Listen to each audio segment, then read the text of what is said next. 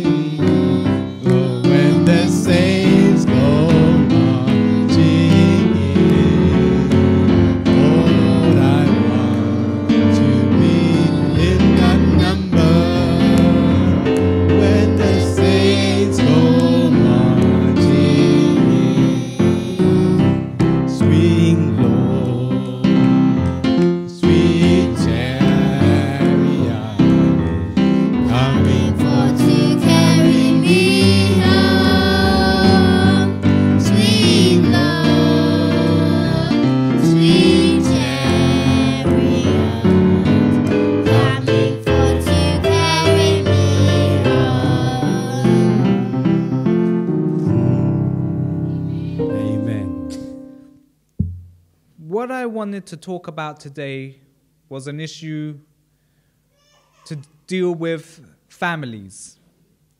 Because we all know the families is the bedrock of any society. But more than that as well, if it's the bedrock of a society, it's the bedrock of a church. And we as a church value our families.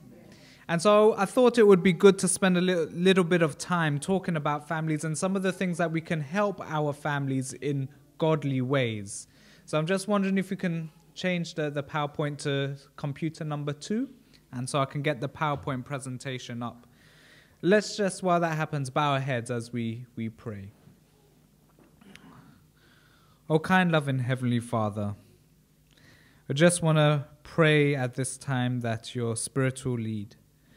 May your words be heard today, and may our hearts be touched and our minds be illuminated, and that we may be changed. In Jesus' name we pray. Amen. Would it surprise you to know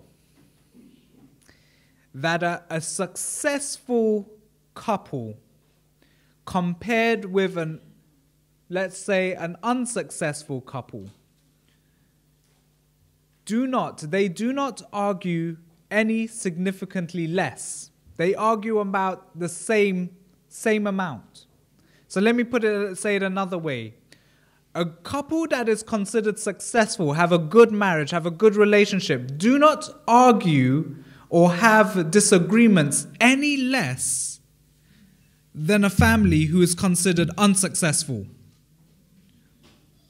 would that surprise you? No, some say yes, some say no. The, the thing about it is, is that we all know we all have disagreements. But then what makes the difference between both of these sets of families or couples? Essentially, it is the way they communicate with one another. So you know now where I'm going. I want to talk a little bit about communication. Because not only is communication the key to relationships in our families, but if used correctly, they're keys to our relationships within our workplaces, within our churches, within our schools, and everywhere else that we have to relate with one another. Because we are all individual people, and because we're all individual people, we're all going to have different points of views.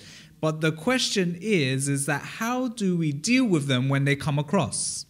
And I believe that there are godly ways in which we can do this. So it's up on the screen now, and I want to look at basically three essentials of effective communication. Three essentials of effective communication. Now we have this couple. This couple up here, Alice and Bernard. Now there's no couple here called Alice and Bernard, so I'm I- I'm not basing this on anyone here. This is just a, a scenario. Alice and Bernard, they have a problem. This week, Alice has been home and she's prepared the food, the house is clean, but she needs to go and do some other chores, her own personal business. So it's five o'clock and she's looking at her watch and Bernard's not home. So she starts to get a little frustrated because she says in his, her mind, I spoke to Bernard and I told him how it was important that he be home because I need to do things. He's not home. So she waits a little bit longer. Six o'clock. Still not home. She calls him on the phone to find out where he is, and there's no response.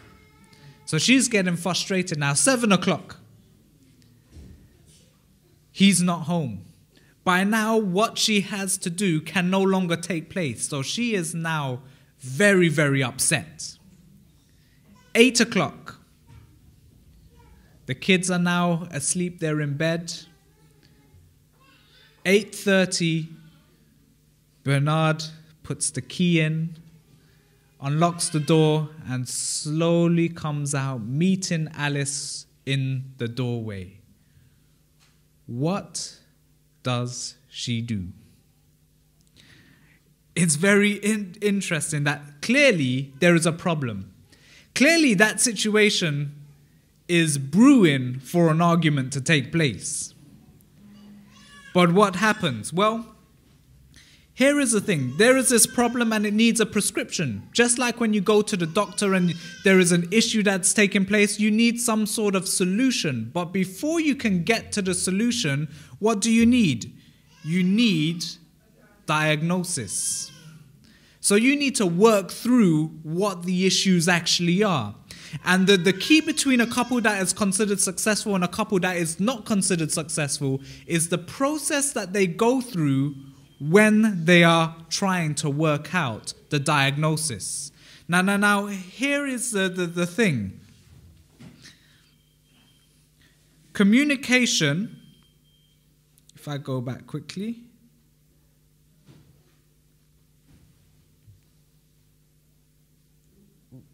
It has disappeared. There we go. It just disappeared. Anyway, communication is the best way to get to this, this diagnosis. But there are three problems, three ways that they could deal with it. As Bernard walks through the door, three things can happen. Alice can watch him, give him a very disapproving look, like you know how it goes, something like that, or, or, or just fume and then walk off. So there's no talking. That's option number one. Option number two, she can blast off. So as soon as he walked through the door, it's, Where have you been? Have you didn't you know that I told you I spoke to you how many times do I need to speak to you are you silly do you not hear is there something wrong with you that's blasting off. Or she can do wise talk. Now what is wise talk? Well this is something that I want us to, to, to, to look into today. But before we do that there's a first first principle that you need to know before effectively communicating with anybody. When you are at your peak of your anger, communication is all but impossible. Let me say that again. When you are at the peak of your anger, communication is all but impossible. It what, what happens is that when you're so angry, your brain takes over and your emotions start to control you. And so having a rational conversation is just not going to happen. So, th- so this is this is the point. What do we do at that situation? Well, the first thing that we need to do is realize when when are you actually getting angry? Do we know? Does anyone here know they can pinpoint the points when they are actually starting to get real? Now, I'm not just talking normal anger. I'm just talking real rage. Does anyone know within themselves? Yeah, some people know. Can, can I hear just a few? What what what gets what what what happens to you when you know that you're getting angry? What what happens? Okay, you start to raise your voice, yeah? Heartbeat, so you can feel it. You can feel the the the bud, the, the heart start to beat a little bit faster, yeah? Any anything else? Pacing up and okay, pacing up and down, so you start to get quite vigorous in your movements, yeah? Bre- I think you've reached a point of anger if you're breaking you, you're breaking plates. okay, you start to speak faster, yeah, Brother Brown? Your improper tell me a bit more about that. What's improper circulation?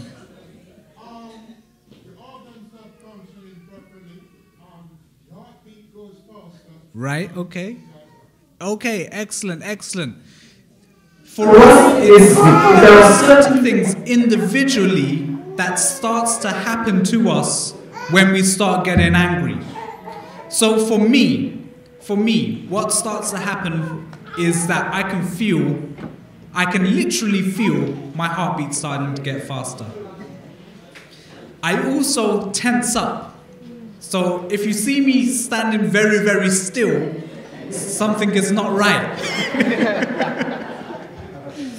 and I also feel this rush of blood go into my head. Those are the warning signs that tell me that I'm reaching a point of anger within myself. Now, the thing about it, that does not show physically on me.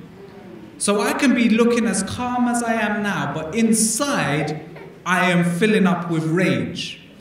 At that point is when I need to know that I'm getting very angry. So when I feel that, I'm, I'm thinking to myself, okay, I'm reaching the point now when I'm getting really angry. We all need to know what our own individual reactions are to anger. If we know that, then we're able to manage it. The best thing that you can do at that time is to be honest with the person who you are angry with at that stage and say, at, at this point, look, I want to have this conversation, but right now I'm just really angry. And I want to have it, but I want to have a proper conversation. So let's take a time out. Okay, let's just take a break. And what you then do is you go and you cool off. Now, understand what I'm saying here cool off. You don't go thinking bad things about the person. So you don't take a break and say, I can't believe that person. How dare they do this to me? All that does is prolongs the anger that is within you. What you want to do is you want to, to your body to clear itself of all the adrenaline that's building up all of the the the the heart the fast heartbeat. You want it to slow down. You want to yourself to be calm. That does not necessarily mean you're you're not still hurt or upset about what has ever happened but you're in a better place to have a proper conversation about the situation that's upsetting you does that does that make sense so the first thing here alice needs to know is is she getting upset well she she may she may seem that it's it's it's overcoming her. She, her, her cheeks may start to flush red. She may ten, clench her, her jaws and her fists. If that's the case, she needs to say, Bernard, right now I'm, I'm, I'm really upset. But I, I can't talk because I want to have a proper conversation. Can we talk at so and so time? You need to specify when you're going to talk. If you leave it, then the chances are it's not going to materialize into a conversation and all and all that becomes is an avoidance tactic not to deal with the problem and then it will happen again and you will get angry again to the point when you don't feel like you want to walk away but you just want to blast off and that's what we don't want to happen so once alice has calmed down she needs to look at essential number one, which is speak wisely. How do we speak wisely? Because what's most important is that the problem needs to get addressed. And we need to find the best way in which we can address this problem. So, how does she, she go about it? Well, Colossians chapter 4 and verse 6 says, Let your speech always be with grace, seasoned with salt, that you may know how you ought to answer one another. How often does that happen? Let me say it again. Let your speech always be with grace. Understand that first point. Grace is something that we must always give because we recognize that we could be in the situation that the person you're angry with is in right now. Do you understand what I mean? You could have been the person that got somebody else upset.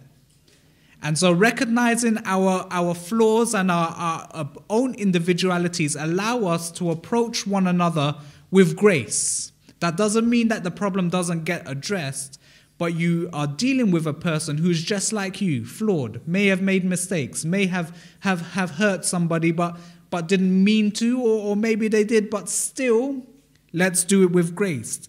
Seasoned with salt. Now, I, I don't know, but sometimes when I first, I, there was a time when I used to, to, to, to cook with salt and a time when I, I stopped completely.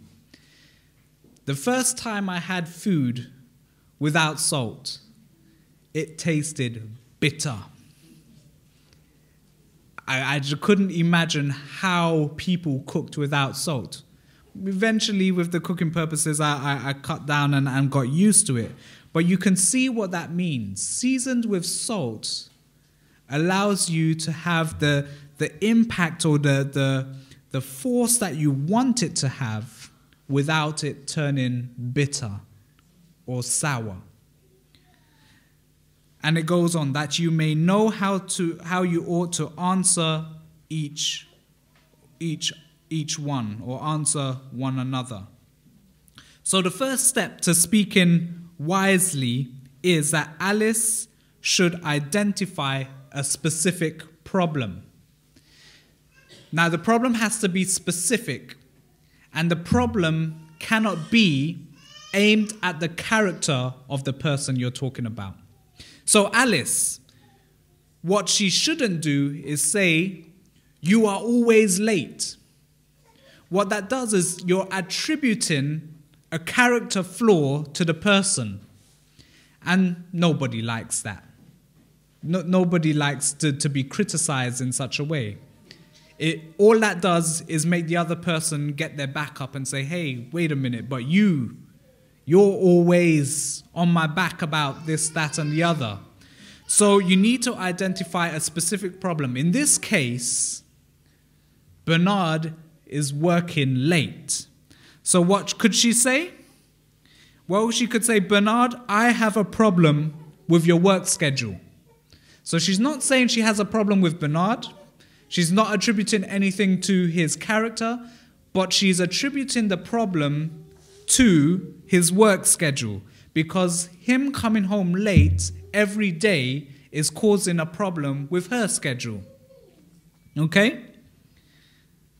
The second step is that she needs to express her true feelings. So, so she says the problem, but then she expresses how this affects her. So, if you notice what she's doing, she's focusing all her attentions on herself. She could say, for example, I'm upset. I'm angry. I'm disappointed. I feel like a widow. This lets her know that the work schedule that is, that is being created makes her feel this way. And so, what it does, it doesn't attribute any blame as such to the character of the person, but lets that person know what this current situation is doing and affecting and how it is affecting her. Bernard, I have a problem with your work schedule. Whenever you, you, whenever you come home late, or whenever you're home late, I feel very upset and like a widow because I don't feel that I have a husband who supports me. I feel that I have to do all the, the, the chores by myself. I have to take care of the children by myself, and I don't have the time to do my own personal chores. I feel angry. So the focus is on my own feelings, not what the other person is doing so much, but my own feelings. And this is something Jesus himself did. Jesus wasn't someone who was afraid to let others know how he was feeling. Because in doing that, it gives the other person an insight into your inner psyche and what is happening, and it allows them to empathize with you. The other step, step number three, Alice should clearly state what she wants. So she identifies a problem. She has a problem with Bernard's work schedule. It makes her feel upset, disappointed, angry, and makes her feel like a widow. But what does she want? Well, she, she may want some sort of compromise or some sort of, of, of change in the system that would allow her to do what she needs to do when the evening time comes. Jesus also did this. When he said his soul was exceedingly sorrowful, even unto death, he stated what he wanted. He said, Stay here and watch with me. This is the same principles that Jesus is using. and again, when she's stating what she wants, she needs to keep using the I statements. As we've seen, I am upset, I am hurt, I am disappointed. N- not you statements. You're always late. You don't care about me. You always do this to me. Do you see the difference? When you focus on the other person's character and def- def- defects and flaws, all it ever does is make them feel worse about themselves. But rather, if you focus on your own, own situation and how this situation is affecting you, it allows your spouse to feel that, oh, I need to find a way to support you in this situation. It changes the way things are going. See, you statements blame you for my feelings. Pointing the finger at you, what that does promotes war. I statements, on the other hand, says how I feel, points the finger at me, and promotes peace. And that's where we want to be. Effective I statement states the problem, it tells how you feel, and it also says what I want. It all starts with I. So, what could Alice do? She could say, I'm very upset, waiting day after day because I need the car to do shopping. So, do you, do you see what she did here? She stated, she stated the problem, but she also stated how it feels and how it is affecting her. I am very upset. I'm waiting day after day because I need the car to do shopping. The second essential. So there is a way to speak wisely, but there's also a need to listen actively. James 1 verse 19 says, Everyone should be quick to listen, slow to speak, and slow to become angry. Very often, though, we, we, we read this in opposites, don't we? we're, we're, we're, we're, we're slow to listen, quick to speak, and quick to become angry. But if we listen to James, he's saying, be quick to listen, slow to speak, and slow to become angry. In doing so, we find better ways of creating peace. What Bernard should do is follow those principles. There is a problem. So he should be quick to listen. What does that mean? Not interrupt her when she's speaking. So she's saying, I'm upset. So why are you upset? I'm coming home, I'm putting food on the table. What's the matter with you? Every day is problem, problem, problem. He hasn't even heard what she has to say yet.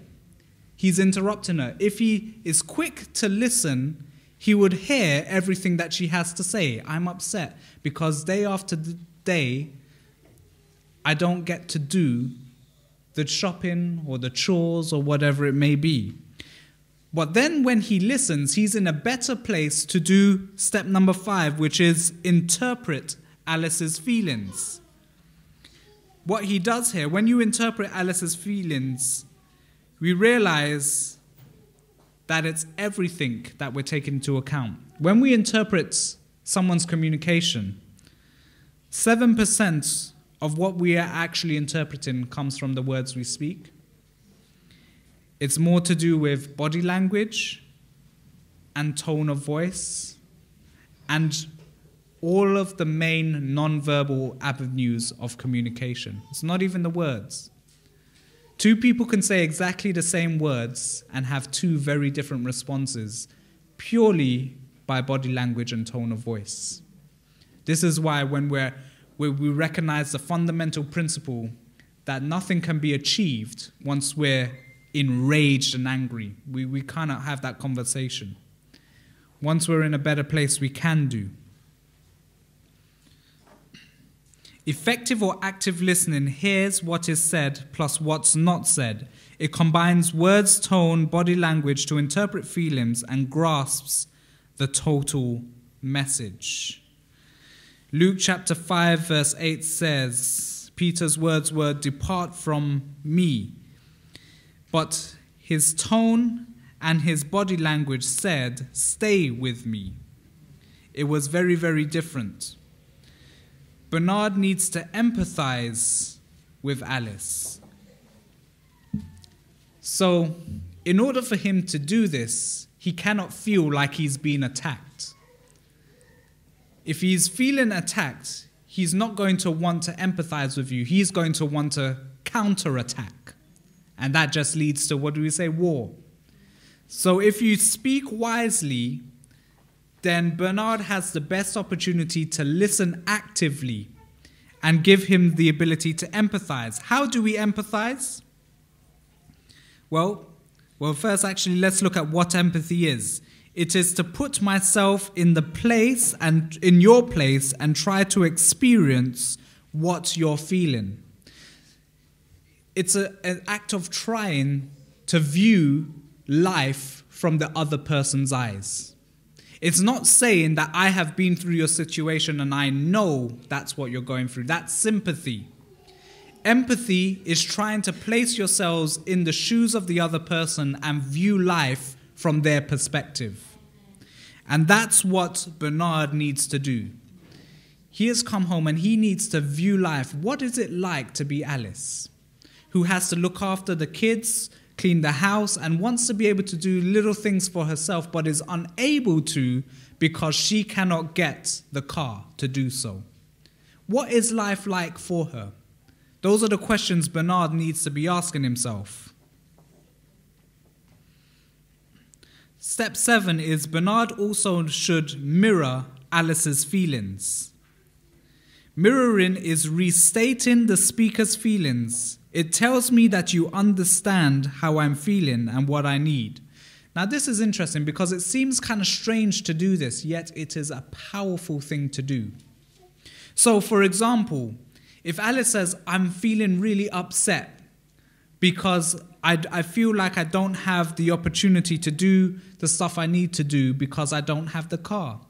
Mirroring is a way to help empathize, is just restating what she has just said using new language. I see that you're really upset because you feel that I'm, I'm, I'm not home in time and you don't get the car to do what you need to do. And that, that, that puts an extra burden on you. It's just restating exactly the same thing she says, but what it does, it lets Alice knows that he is listening to her and he understands where she's coming from. And what that does, it disarms her. because she feels right. I'm having a conversation and he really gets me. He gets what I'm saying. And it leads to the next point, which will be the, the resolution. But let's go on. So, yes, so just like I said before, use a you statement. So, you feel hurt because I kept the car each week. God mirrored Jonah's feelings when he stated, "Is it right for is it right for you to be angry?" So he's trying to empathize with him. So let's look at this for a second. We've got the first couple, the speaker, what the speaker does. It first deals with the, the feelings, the problems, the feelings, the wants, and all of that is done by using I statements. Do we see that? So let's look at that. The problem, feelings, and wants. Those are the three main things that you need to do as a speaker. And you use that using I statements. Now, when you're doing active listening, you want to be interpreting what they're saying, empathizing, and mirroring what they say. And you do that by using you statements. So, here's what I want. If I can get two volunteers to help me practice this so we can see how it works, who's brave enough to come up? You're brave enough? you can come up if you wish. Anyone else? One more person. They say a little child should lead them. Karis, okay, okay. So let's do this now. Who wants to have the problem?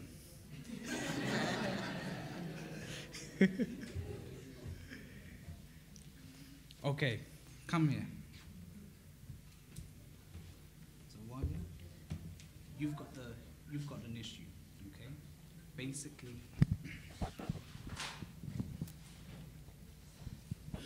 basically you feel Karis is not sharing her favorite toy with you enough, okay?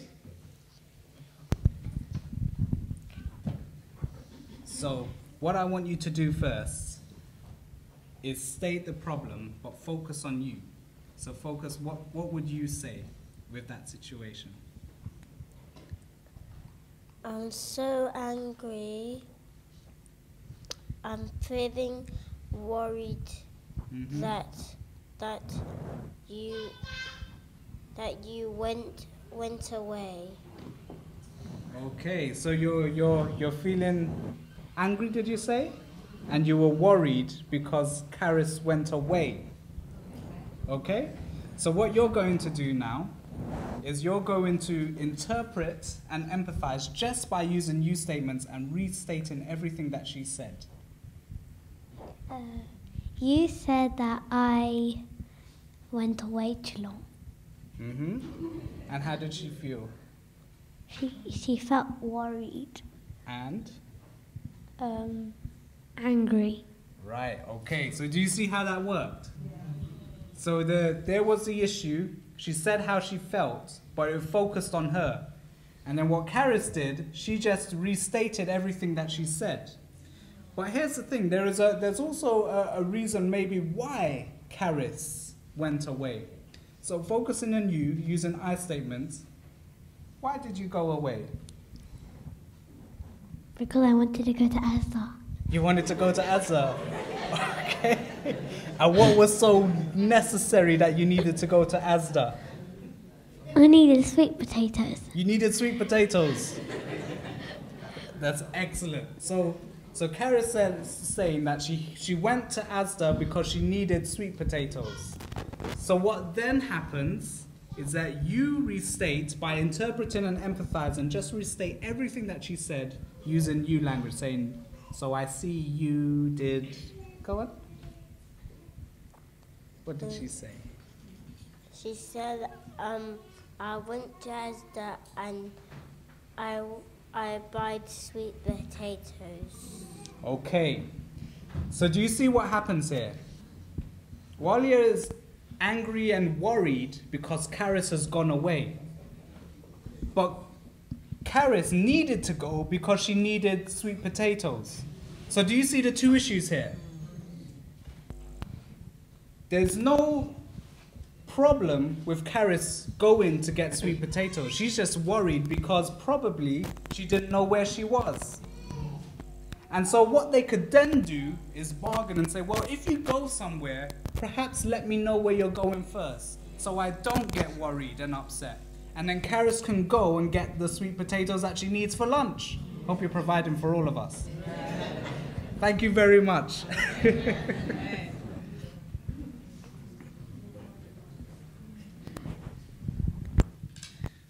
that is generally how, how the wheel of, of speaker and listener works. It's a, it's a graceful exchange between the two in order to come to an amicable resolution that gives both parties what they want. So, as, as stated before, it's just like a coin or a bill, so there's two sides to every story. So, just with Alice and Bernard, maybe there's a reason why Bernard was coming home late. Yeah? And so he also then needs to explain his reasons why he's been coming home late. This is where we come into exchanging gracefully. So he then switches from being the listener to the speaker, but he also has to speak wisely. And then Alice also then has to listen actively. And if they exchange gracefully between the, the, the two, they both can be able to pinpoint what the problems are and find solutions to that problem. So Philippians 2, verse 4 says, Let each of you look out not only for his own interests, but also the interests of others. This is what it means to be in relationship with one another. It's putting others before you and understanding where the other person is coming from. So, step nine Alice and Bernard should exchange gracefully. So, now that Bernard is the speaker, he may say something like this Our company is downsizing, and many are losing their jobs. Each afternoon this week, when I am ready to leave, my supervisor gives me a new assignment marked urgent. I stay on to finish it and to keep my in order to keep my job. So now that Alice is the listener, she uses you statements. So what she could say is what could she say? Before she gets to that, that part. Remember, Bernard is now speaking wisely.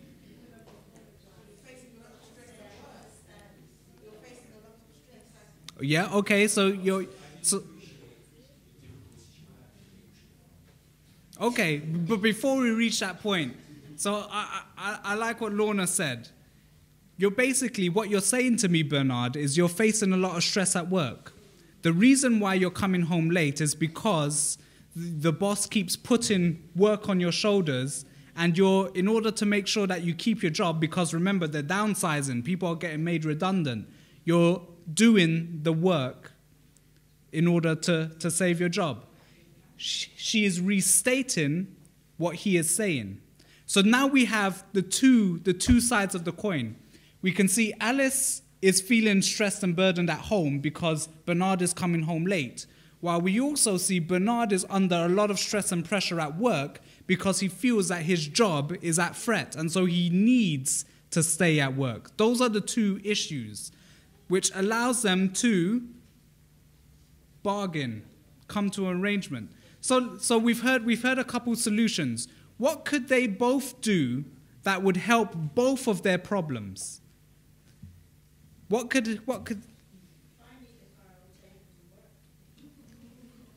Why not? Okay, so that's a solution. So if you need the car, maybe you can take him to work or and pick him up as well and, and then you can do do whatever you need to do that's a solution it's a win-win for both he is able to stay in order for him to do what he needs to do and then you can take the car and go what what other solutions could there be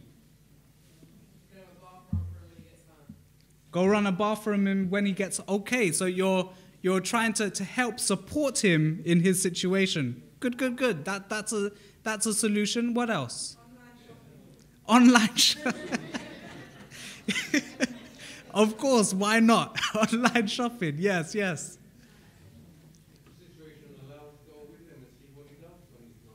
Okay, if the situation allows, maybe that's a possibility. Go with him, but she still needs to do her, her chores as well. Right. Okay. So keep everyone informed. So so keep it updated. Ring, call in order to to to sort the solution. So do you see what happens here? By speaking wisely, listening actively, you both pinpoint the problems that's causing this friction, and you're able to to make solutions based on that. And so it becomes a win-win for both of you. So moving on, that's step 10. They bargain together.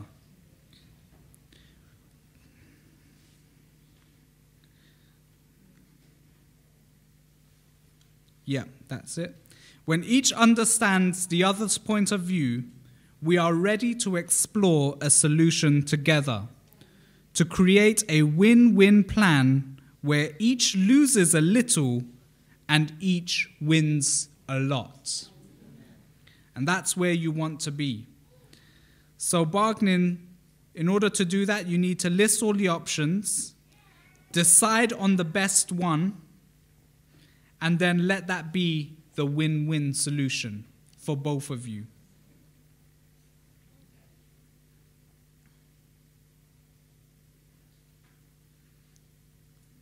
Let's move on. And the thing about it is, is just as a healthy marital relationship requires constant communication between husband and wife, a successful spiritual relationship needs communication between myself and God, using the three essentials speaking wisely, listening actively, and coming to a solution, a bargaining part. So, the essential number one with God is talk to God. Matthew chapter 6 says, When you pray, go into your room, and when you have shut your door, pray to your Father. Spiritual communication is just as important as a marital communication. And if we are to maintain healthy marriages, healthy relationships, prayer is key. I can't even stress that enough. Do you know? We know that the, the, divorce statistics are one in two, right? Roughly. It's about one in two. Out of those who do not get divorced, do you know what the, the, the percentages, percentages are? Wait, let, no, sorry, let, I'm- said that wrong. Out of all relationships, do we know what the percentages are of people who pray in their relationships? And when I say pray, I don't mean just a, a quick, um, bless us, Lord, for this day. I mean a deep, intimate prayer with our spouses, with our partners. The kind of prayer David prayed to God when he said, Search me, O God, and if there's anything within me, remove it. That sort of vulnerable prayer. Do you know what the, the, the statistics are? One in ten. So a very, very small percentage of, of, of couples pray together like that. Do you know, if you take those, those couples who do pray together like that, do you know what the, the statistics are for them who get divorced? One in 1,000. So when you look at the overall statistics of the, of the world, one in two people get divorced. But couples who pray intimately together, the divorce statistics go skyrocket so sorry, go down very low. One in 1,000. Communication with God is so key that sometimes we, we, we, we overlook it, but it is necessary because He is the glue that holds everything together. And speaking wisely, active listeningly, it works. If you do that with God, we can do it within our relationships. And I pray that this will be something that we can, just a little something we can take within ourselves in order to, to build better relationships. And like I said, this is not something that we can just use, need to use just for our families. If we use it in our everyday lives, in dealing with other people, in our workplaces, schools, friendships, everything, we find that we are able to maintain and sustain healthy relationships for a lot longer. So I pray that God will continue to be with us and allow us to speak wisely, listen actively, and allow us to work closely with God. Amen.